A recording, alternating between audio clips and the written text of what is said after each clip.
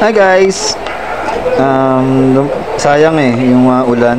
So, magpapaulan ako. So, maglilinis na rin ako ng motor. Yan, medyo naayos ko lang muna yung camera ko.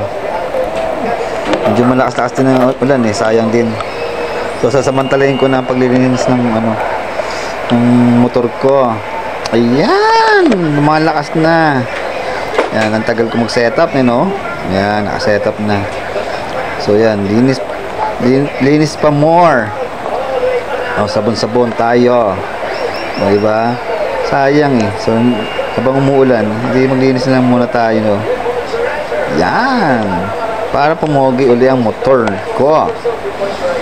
Yan. May bagyo ngayon, oy. Ingat-ingat lang tayo. God bless. Bye-bye.